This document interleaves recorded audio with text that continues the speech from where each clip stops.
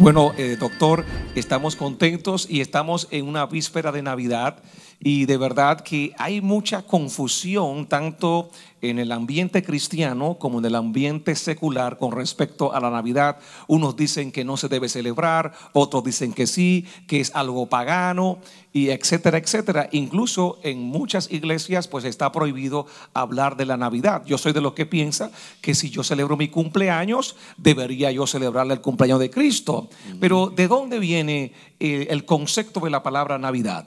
Sí, la palabra, la palabra per se, Navidad, se diseñó exclusivamente para poder hablar del nacimiento de Cristo, porque a Cristo siempre se le consideró tan sublime, tan excelso, tan divino, que no se le podían atribuir palabras humanas como a cualquier ser humano para hablar de su Navidad, de su nacimiento. Y por eso no se le habla del cumpleaños, de cuándo cumplió el año. Entonces se inventó una palabra que en latín viene su raíces fuerte en latín, que es natividad, que es lo mismo, habla del nacimiento, del cumpleaños, para enfocar cuándo nació, y por eso natividad que donde se deriva la palabra Navidad, se diseñó exclusivamente para hablar del nacimiento de Cristo y celebrar su cumpleaños. ¿Y cómo se conecta la Navidad con la fiesta de las luces de Israel o el Hanukkah? Porque hay una relación entre la Navidad y realmente vemos que el origen nace en Israel. ¿Cómo se, conectan ambas cosas? Precisamente las raíces judeocristianas nos dan una información muy importante de cómo interpretar nuestra fe y nuestro estilo de vida cuando vemos las raíces de donde venimos. La Biblia dice, entre otras cosas, la salvación viene de los judíos. Y nosotros tenemos nuestras raíces bien arraigadas en el pueblo de Israel y su cultura. Y ahí tenemos entonces que hay una fiesta que hoy se ha convertido en una de las grandes fiestas para Israel, que no está en la Biblia, pero está en la historia, porque comenzó en los tiempos de los macabeos. Es la fiesta del Hanukkah, también se le conoce como la fiesta de las luces, o en la Biblia se le llama la fiesta de la dedicación del templo. Ambos títulos hablan de la misma fiesta, de la misma celebración.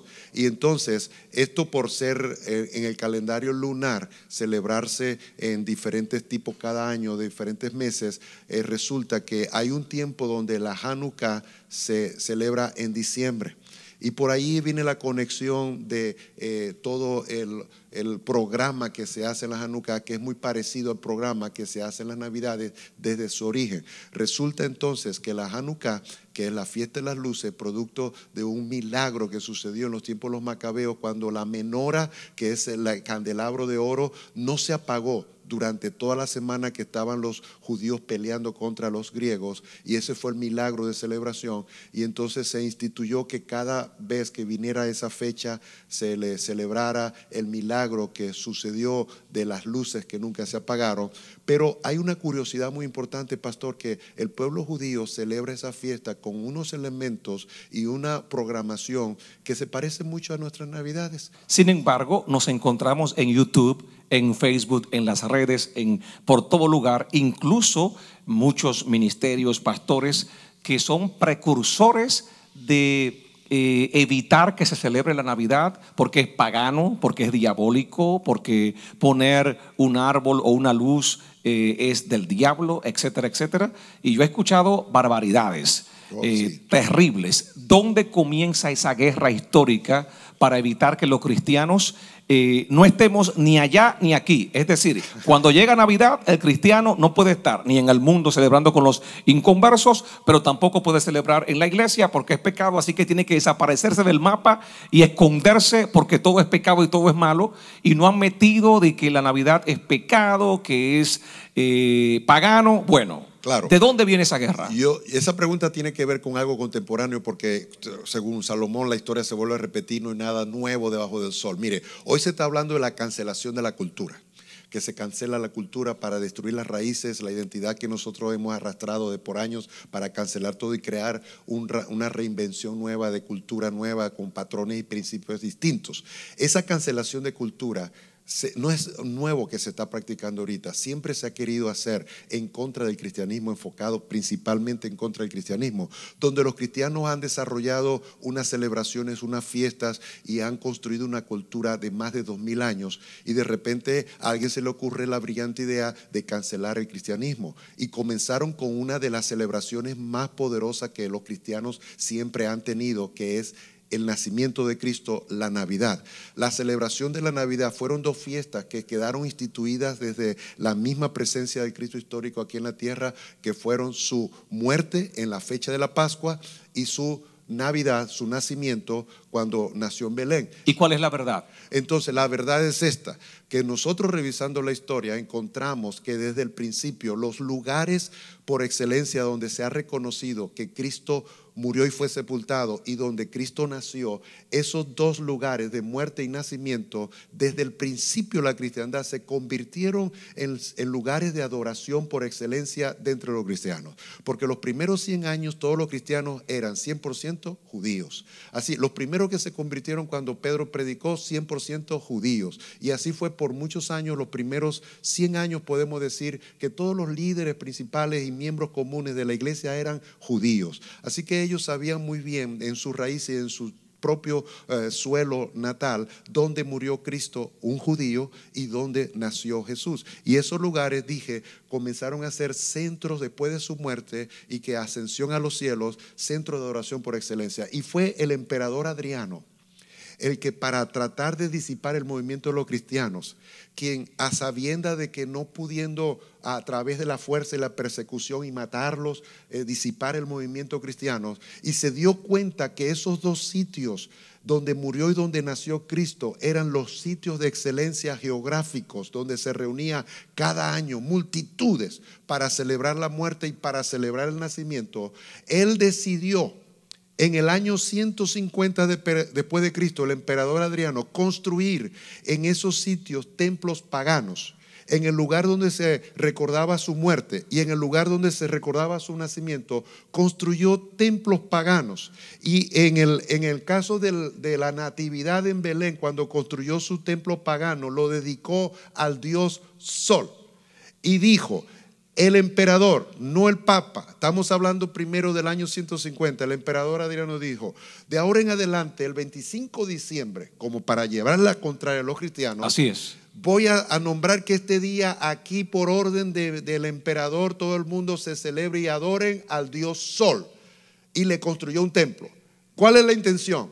Desaparecer la fiesta cristiana, desaparecer la Navidad. No fue el Papa que hizo la transpolación de la fecha, sino fue el emperador Adrián en el año 150. Finalmente, ¿por qué es importante teológicamente hablando la Navidad para los cristianos?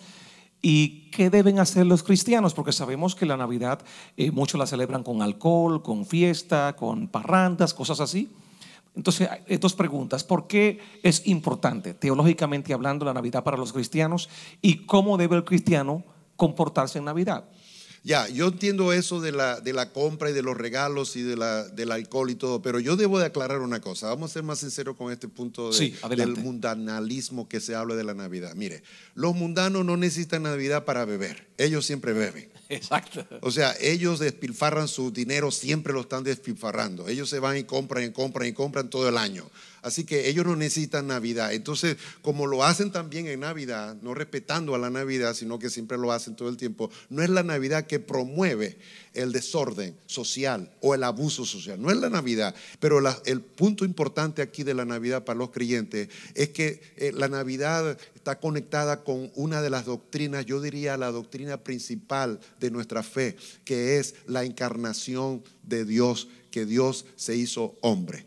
Esa, esa doctrina de la encarnación nosotros no lo podemos este, vender o negociar con nadie, porque somos la única religión en el mundo que se atribuye la creencia de creer en una divinidad que se hizo hombre y estuvo con nosotros habitando en esta tierra. Ninguna otra religión dice tener un Dios, un líder o algo, divinidad que se hizo hombre y estuvo con ellos. Solamente los cristianos lo hacemos. Ni siquiera Mahoma con su famoso Alá. Nadie tiene esta doctrina tan bendita, tan poderosa, la encarnación, donde decimos Y creemos que el Dios que hizo el universo y la tierra se hizo hombre y habitó con nosotros y se llama Jesús de Nazaret. Nadie más dice, Él es el Dios hecho hombre. 100% Dios, 100% hombre. Entonces nosotros podemos eh, negociar todo lo relacionado a ese acontecimiento maravilloso por tanto, tampoco podemos nosotros menoscabar o minimizar la importancia de esa manifestación, porque sí pasó en la historia, sí sucedió, Dios se hizo hombre y fue el 25 de diciembre. Que digan que es otra fecha